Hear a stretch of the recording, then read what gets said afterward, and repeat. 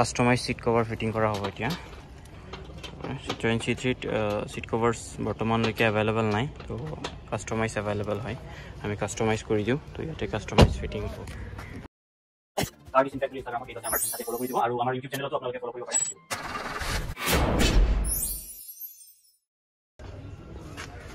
যিহেতু এইটো নতুন ব্ৰেণ্ড হয় চিট্ৰইন চি থ্ৰী ইয়াতে এতিয়ালৈকে ছিট কভাৰ্ছ ভালকৈ এভেইলেবল হোৱা নাই মাৰ্কেটত তো কাষ্টমাইজ কৰিবলগীয়া হয় আৰু আমি কাষ্টমাইজ কৰাওঁ। তো কাৰোবাৰ যদি লাগে আমাক কণ্টেক্ট কৰিব পাৰে।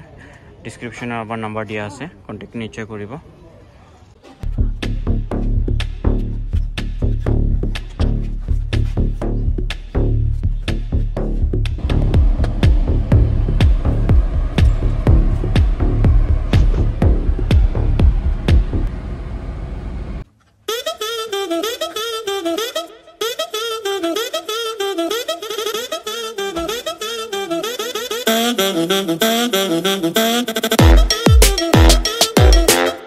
আপোনালোকে দেখিছে ছিট কভাৰ খুব ধুনীয়াকৈ ফিটিং হৈছে।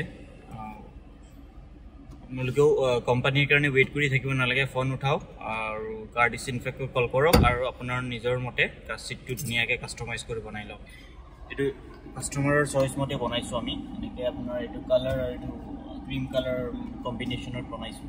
তো আপোনালোকৰ নিজৰ চইচ মতে আপোনালোকে আমাক ডিজাইনটো দিয়ক আমি ছেম এনেকৈ বনাই দি দিম।